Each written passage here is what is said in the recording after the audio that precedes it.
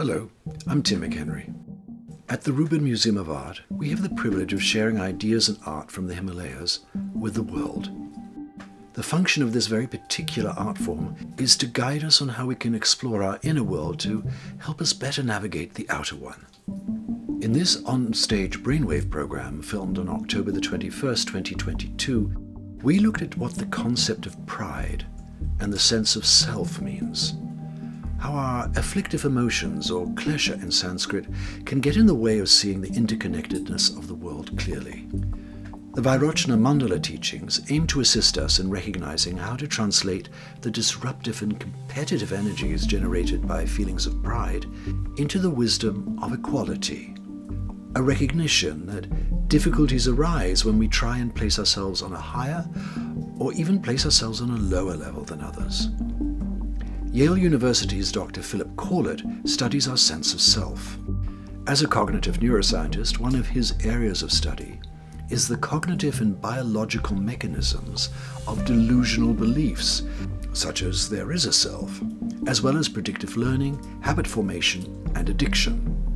He is meeting for the first time Jean Grae, who over the last 25 years has been known as a rapper, producer, composer, singer, humorist, author, actor, director, editor, designer, puppeteer, and minister of her own church. She calls herself a multi potentialite. But that in itself can cause confusion for which aspect of the many faces of Jean Grae is an audience going to get? Sometimes I don't know which reputation precedes me in a room, and I'm and people are not really sure what they're what they're getting. Um, I know there's a lot of performances And someone's like, "Well, I, where was the insert thing here?" And they're like, "I came to see your rap, but it was all comedy. I came to see your comedy, and instead you just gave a PowerPoint presentation on cats." and I was like, "But was it good?" Um, so I think that's always an interesting thing, and I, I think it was interesting to start off with talking about delusion. I don't know how. What's your TikTok presence? My TikTok Yes. presence? So I don't have one. Um, I have a Twitter presence, and we've sort of interacted a little bit there. Um, the university actually asked me to start a TikTok account because of my semi-successful Twitter, but I haven't done it yet. Um, and I'm not so sure about building that particular brand, or whether I should let Yale, you know, creep in on my sense of self and identity. It's kind of a strange thing that we do, right? I, I do all of this, these experiments to try and figure out the nature of what it is to have a self and what it means when that fades away or disappears. Um, and in a sense, I'm kind of enacting that by putting this work out into the world and encouraging people to engage with it. And it's sort of, it's often difficult to know where, you know, myself as a scientist ends and other aspects of me kind of begin, like being a dad or a husband or those sorts of things. Do you think that there's a point where, where that where that stops? Like it's not it's not completely just a, a, a full thought because I think a lot of us struggle with being like where is where is that side of me that's work and then where is the side of me that I'm home? And I'm like, but what if we just thought of the whole Right. thing? Like why do we always try to draw lines in Well, between those things? So- protection? I think it might be, yeah, and I think the pandemic has really thrown this into deep relief, right? We're at home, we're working at home, we sort of crawl from our beds to our desks and hop on Zoom, and, you know, we didn't really travel very far or get out into the world as much as we might have liked. And I think it really is important to draw those sorts of boundaries and to try as much as possible to be present with whatever thing that we're doing currently and, and to not let those things bleed into one another, despite the fact that I like to identify myself as a scientist and that I try and approach things in a sort of scientific way, regardless.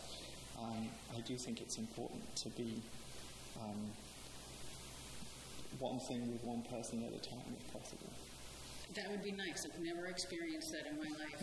Sometimes, sometimes I wish for that. I think it's it's always you know the times where people are like, "Oh, you're so lucky. You get to, you know, you don't work for anyone. You create." I was like, "No, that that's the terrible part. So much of me."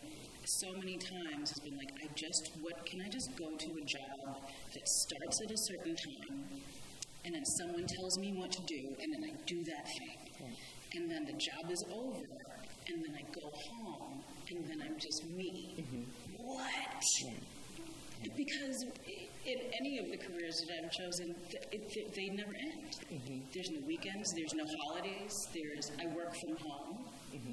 Um, it was interesting during the pandemic quarantine lockdown because I don't like saying, you know, during the pandemic, we're still in it. That's why you're all wearing the mask.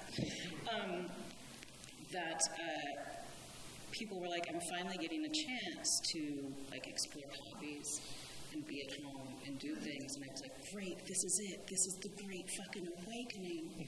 And then everyone will see we don't have to fucking do this anymore. But for me, um, I was at home.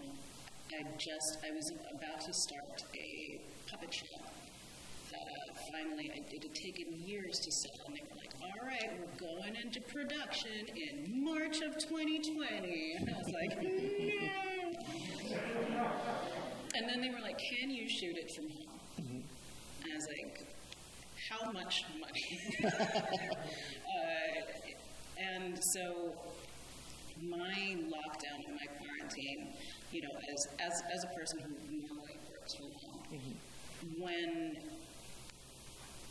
when you are creating an entire world, like you're working on a show like that,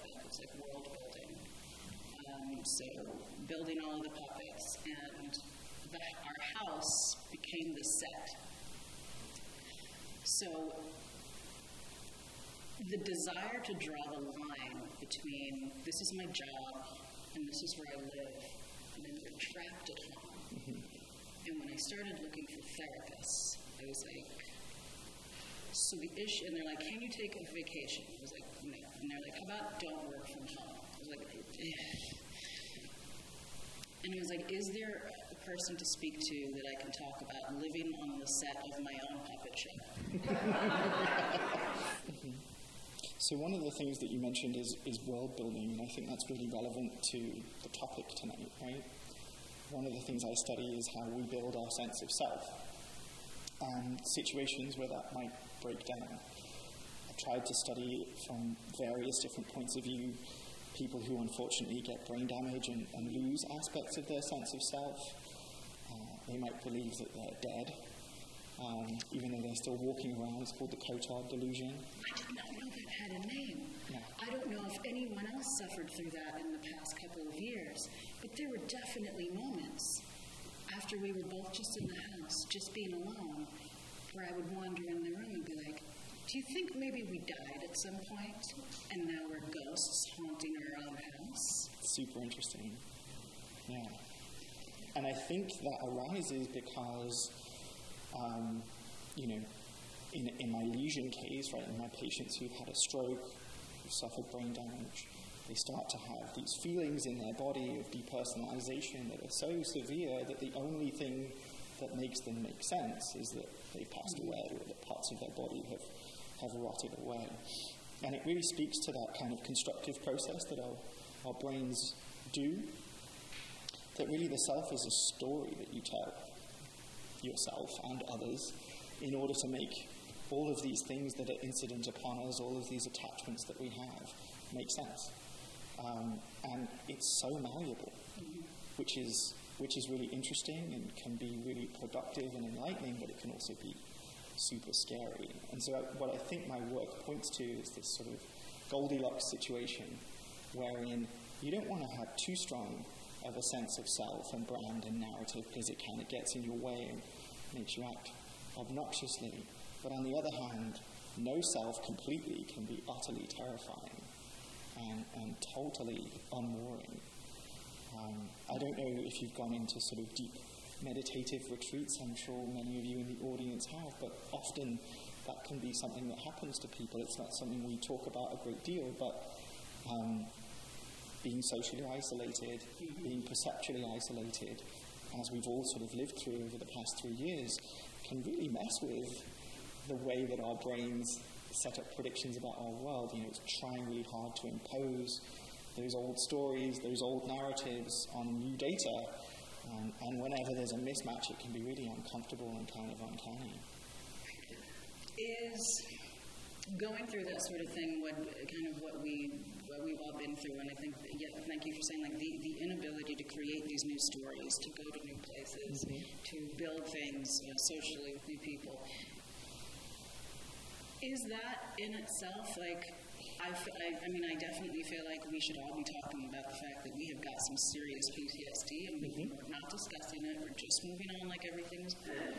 So, what kind of form of like damage to self and to the brain is going through this whole process? Well, it's undoubtedly been stressful, and stress hormones really impair our brains. Thank you for saying that. That's why I have wine today. Well, like I said, everything in moderation, including moderation, right? Cheers. Oh, cheers. Um, yeah, so that sort of stress response, um, particularly around the kind of unpredictability and the uncertainty, right? When this whole thing started, we were told, oh, two weeks and it'll be done. We can just be right back at it. And here we are, three years later, still not completely back, but really wanting to be and, and almost demanding it and kind of falling back into those old routines that, like you said, it, it would have really been nice to kind of shake us out of rut a little bit and, and kind of reset and restart. I, I, I get sad a lot, um, just just during the day, just thinking about it and kind of seeing everybody like go on about their day and be like, hey, you know, it was so nice. Even though I was working, and I was like, well, now I'm just watching everyone do what I wanted to do. But I keep telling people it's like learn a new skill, and, like do something else. Like there's a way out of this, we can do it. And then capitalism was like, oh no, they got to get the fuck back to work. Right. No, we're not destroying this system. Um, but I, I think about everybody finally having the time, because that's what this system sucks out of us, is having the time to think about yourself, mm-hmm. the, the time to be, to create pride and, and thoughts and memories and something else outside of be- just being in survival mode. Because, I, you know, like you, I, I like to explore lots of different disciplines, and I worry sometimes that I sort of fall between two stools and never end up satisfying anybody, uh, apart from maybe myself. Anybody or yourself is going to be my Right. question. Which Right. is which is more disappointing for you? Uh, letting myself down is, is way more disappointing. How hard on yourself? Very hard. I'm, Yeah. It's terrible. Yeah. It's terrible right now in my head. Right? You feel like we're doing terribly? No, I didn't want to wear these shoes. Okay. I mean, they are pretty great. like, yeah, I think that being so hard on, on yourself, even when everyone isn't, uh, no matter what business it is, and like you're just in your head, just screaming at yourself all the time, and then you're presenting like this. It's great. Um, I know uh, in some in some professions that I do, it's welcome. It's fine in comedy. Right. It's almost expected, It's, right? it's almost expected. Um, and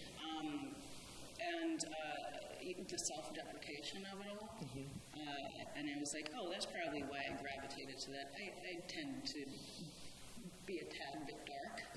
Um, and but in something like rap, Mhm. You definitely have to portray a certain. well, that's the interesting thing. I now identify as non-binary. Um, during my rap identified as a woman, or as they would call me, a female. Which let's just stop. We're not at the zoo. Um, it is a competitive world. It is based on braggadocio, based on I'm the best. And I thoroughly enjoyed that about it. And I never looked at it like I'm enjoying myself here on this stage or on this song. My mission was to destroy. It was to destroy the imaginary people. Mm-hmm. It was to destroy the other people who were on the song. I if someone was like, "You're opening for them," I was like, "They are closing for me." I'm terrified now. But as a woman, mm-hmm. that was not accepted. And I'm like, well, that's very interesting. It was always um, that I should be grateful to be there. And I think, just as an other in general, uh, as a, a, a black woman, a mixed woman, an immigrant, I was raised Muslim, I'm like, listen, I got all the fucking others down. Like, how, how, at what point do I have to stop being like, I'm so, oh, thank you, thank you so much. And because I never presented that, and my only presentation was, I'm sorry, I'm sorry, I'm better than you, um, it was never accepted. It did not go well. How did you get past it? I stopped rapping. Do you, do you miss it? I, I miss um, I miss it as a challenge for mm-hmm. competitive me. I, I love words. I love writing. I love I love all of that. Mm-hmm. But there, at a certain point for me, I was like, I've done this for 25 years. It's, it's a long time. It's not you know mm-hmm. just get in there, and I'm gonna I'm, I'm hurting myself at a certain point. If you're like, if you're, if, if I'm never gonna get anything other than um, men are the bar, and she held her own, I'm like, you know, I destroyed them. Let's not do this. Um, or I should be grateful to be here. Or I, I'm never gonna be in the same category. Rap is one thing. Female rap is another thing. So it, it was, you know, I, I can go be masterful in many other things. It's okay to let it go. Okay. So it's interesting. So I've approached science kind of similarly, believe it or not. Um, there was this feeling, this sort of apocryphal story that perhaps people tell you when you first go into prison that you're supposed to find the biggest guy in the yard and hit him as hard as you can to prove that you're something and that you have something to say. And I've often tried to chase the big ideas or the new territories or the things that people thought were outside of the realm of science or something that we ought not to have something to say about. Um, and, and I've tried that, and, and it does become exhausting. Yeah. Um, it's interesting to try and sort of stake out new territory and pursue new things, and it's really exciting. But at some point, you know, you've kind of got to stop innovating, you know, and hand over the torch to other people. And I think that's the point where I'm at now, where my job isn't to push me as the brand forward anymore, it's to train the next generation of people who are coming through and, and sort of point them to the areas where I perhaps went wrong or slipped up or made the wrong choices. Um, I'm still very proud of what I've done, um, but in a sense, I'm also kind of over it and don't want to be known as the guy who does that so much anymore. How, how many like rough times did you have in those thoughts? Like, I know it, it really in my heart, I was like, I know it's not me. I know I'm amazing. But at a certain point, you're like, Okay. I'm, I'm not Yeah. Yeah. And then that leaks over into so many other Mm-hmm. things. Yeah, no, I definitely, you know, submitted grant after grant application every time, you know, three times a year, every time they're coming back, not even discussed. Like, we're not even going to dignify this with comments, you know? And, uh, and it wears you down. It yeah. It really does. Uh, and it really it eats into your sense of self. And so, so my response was, let's try and do the craziest thing that no one expects, and pull it off, and show that I'm a sort of force to be reckoned with, or someone to be taken seriously. Uh, and for me, that was working with people who believe that they're psychic.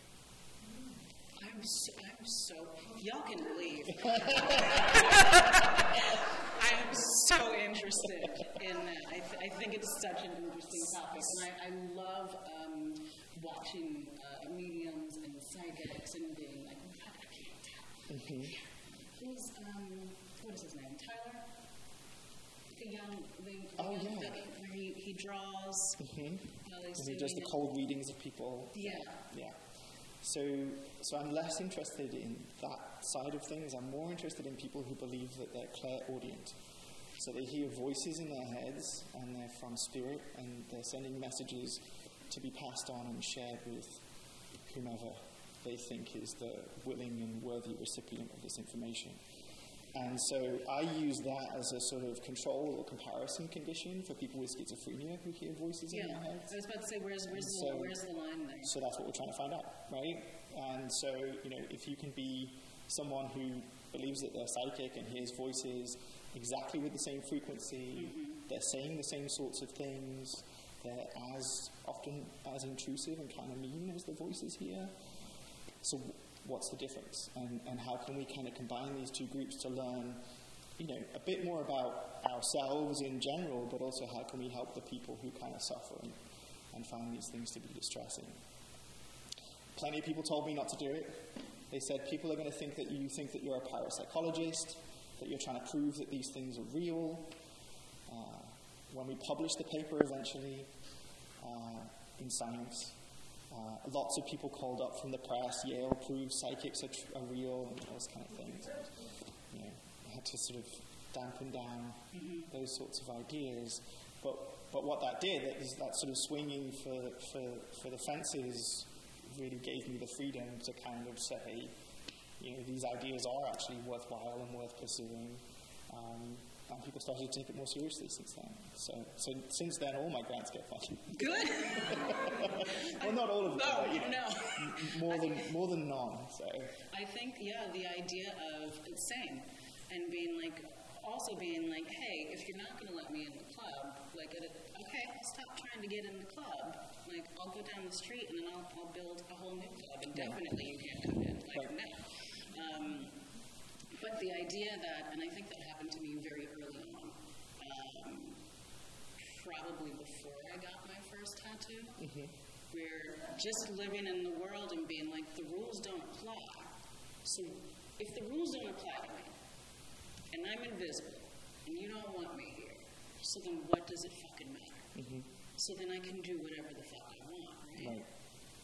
Um, and yeah, even, even in that sense, my first my first tattoo was very small. My second tattoo was this giant dragon on my neck, and I was about 19 years old. And everyone was like, "What are you doing?"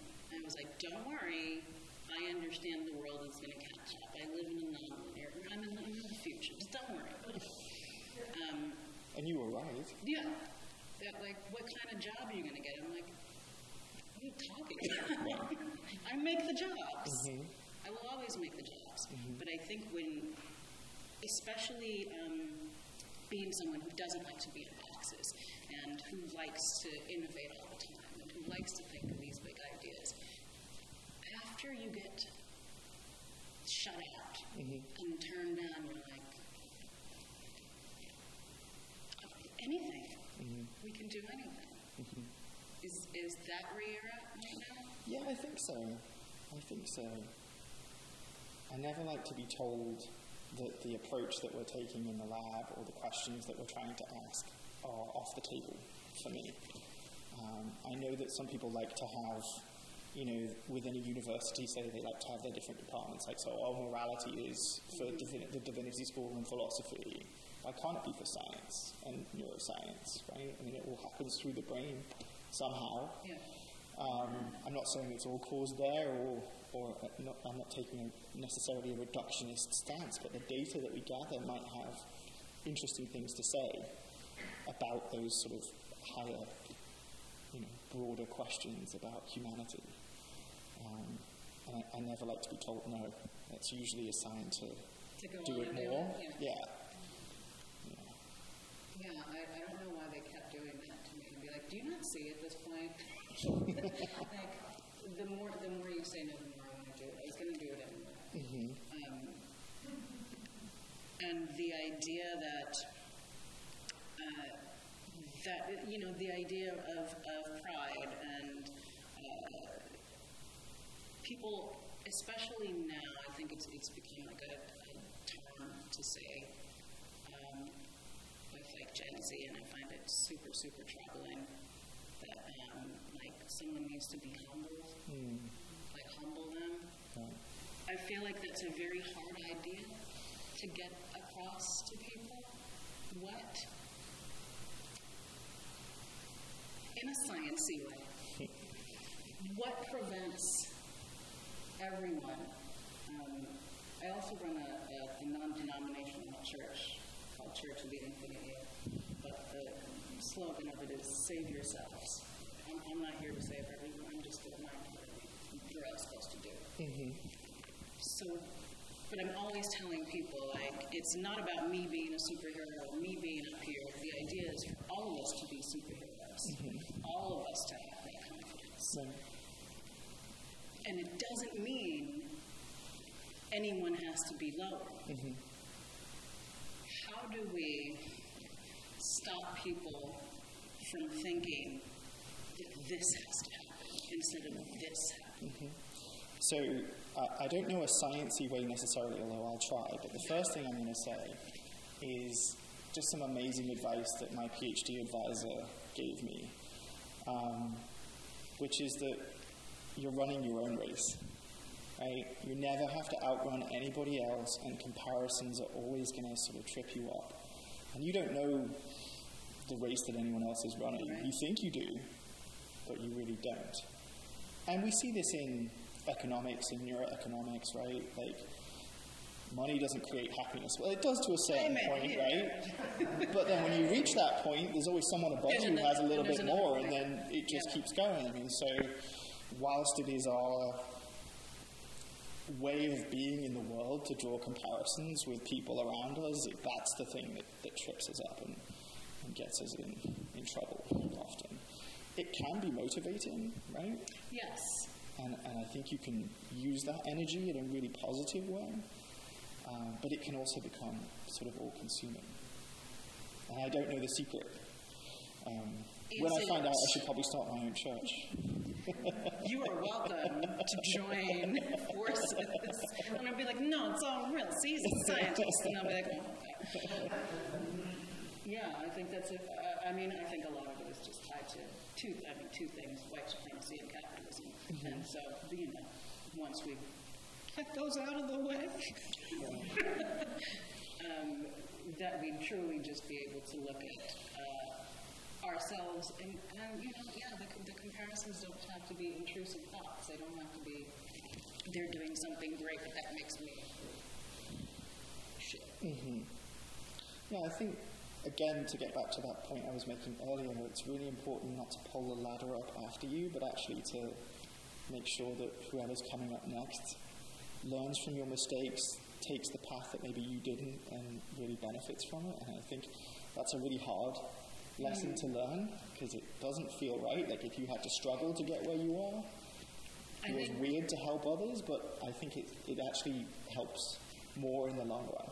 I was uh, looking at something uh, as I, in the past few years, um, finally, like, just, I, I've been uh, calling myself a polymath for a little bit, but uh, the better Rightly so. Uh, I felt like the better term was multi-potentialite.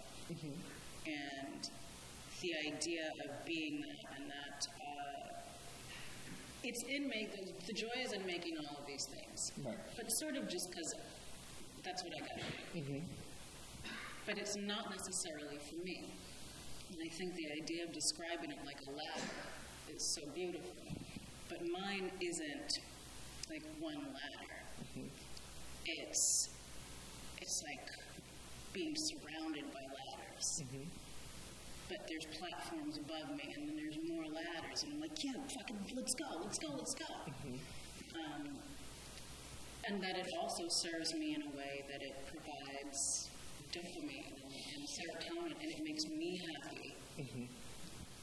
to see other people be like, yeah, I am that motherfucker, yeah, I can do that. And I'm like, well, go do a thing that I, I probably didn't think of, and now, See, see, dopamine's a really pernicious thing. yeah, right? It, it wears so many different hats.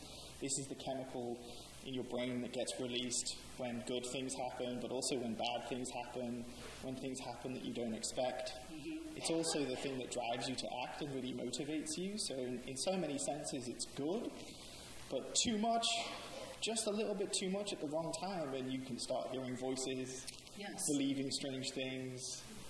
Um, and it's so weird to me that this really basic brain system that's there in like rats and mice and monkeys seems to obey the same principles, and yet humans are the ones who are sort of afflicted with this, these sort of very strange consequences when it gets slightly out of whack. And it doesn't take very much at Yeah. all.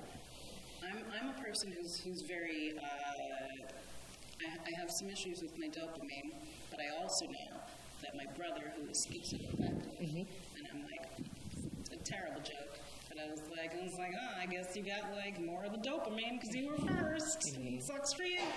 Um, and so I always wonder, I'm like, if I, if I'm, I feel like I do all of these things like just to kind of ride the point, mm-hmm. and then no one to pull back. Mm. But I do understand that there could be a level where it goes past that. Can I ask you Sure. a science question? Please. That's what I'm here for. All right. Um, dopamine. Uh, related to doing uh, things like heroin or, more importantly, cocaine or uppers and stimulants.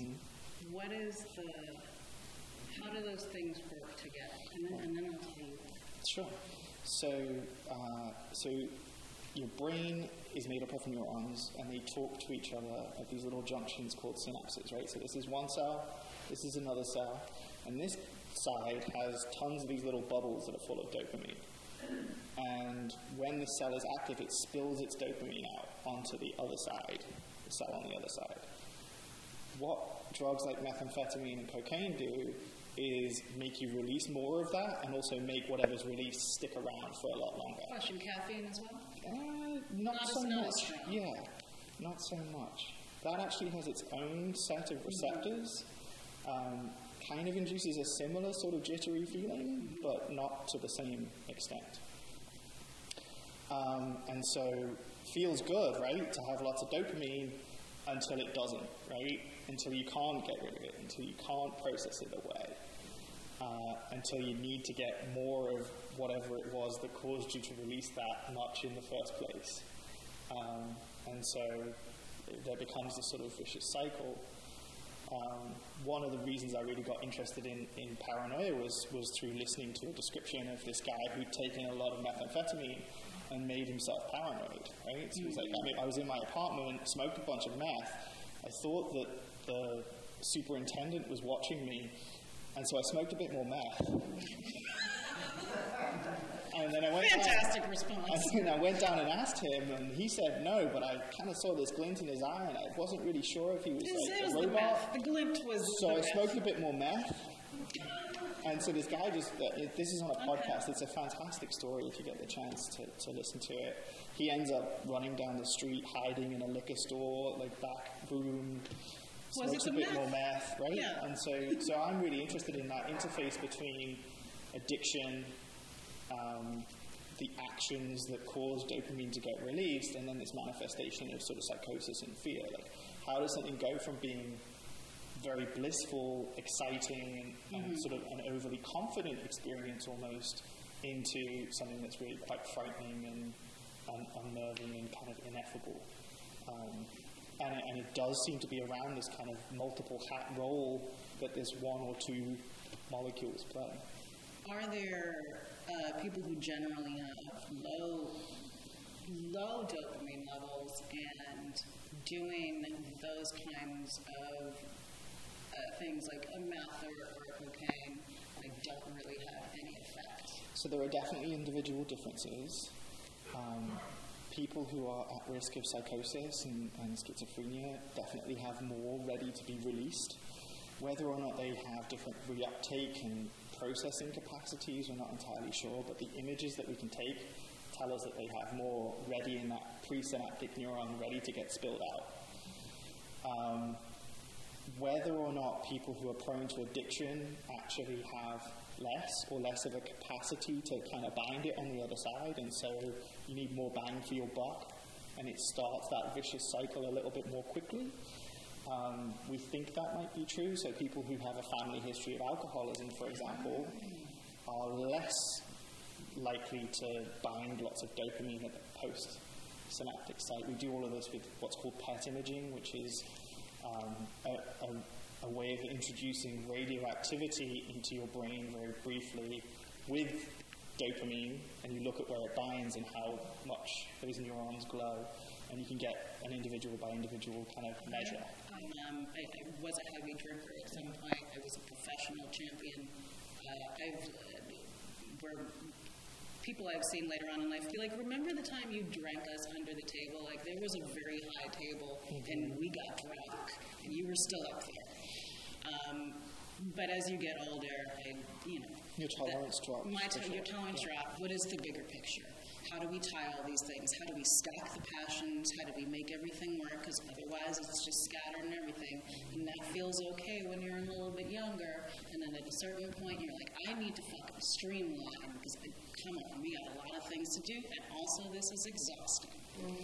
Um, my general through line, uh, and I didn't like I knew it, and, and someone was like, someone made the comment to me that they were like, "Your the labyrinth of your brain is really interesting," and I'm like, truly, it's just really one mission. And in anything I make or in anything I do, I was like, it's, it's a, two, a little bit of a two-parter. There's, um, especially in film or TV, or, or writing, any, any of those things, that the, my idea is that I have to see the void, um, the spaces that are empty, and the people that are clearly exist, because I am one of them and I have never been represented. I don't see myself. I don't see myself anywhere, but I know a lot of me. There are many of us. So my job is to break boundaries by doing that with anything I do. And the second one is, in general, um, to make people extremely uncomfortable in order to become comfortable. Yeah, I, that's an amazing answer. Um, and, and to sort of steer it a little bit, I think there are two, three lines in my work. One is kind of creative destruction. So how do we take the things that we think that we know and disprove them, or challenge them, or push against them? And then at the same time, how can we approach consilience? So William Whewell was a, a mathematician at Trinity College in Cambridge. He invented a lot of words um, first was scientist before they were called men of science. So he allowed women to be scientists. And the other word is consilience, which is the unity of knowledge. How do we bring things from disparate disciplines and like types of inquiry and see how they fit together, right? When you think about things like mental illness, we always hear about like the biopsychosocial approach, as if each of one of those things is like separate and independent. I'm really interested in how when you push on one, how do the other things change? How do they lean on one another? And that's what I try and pursue.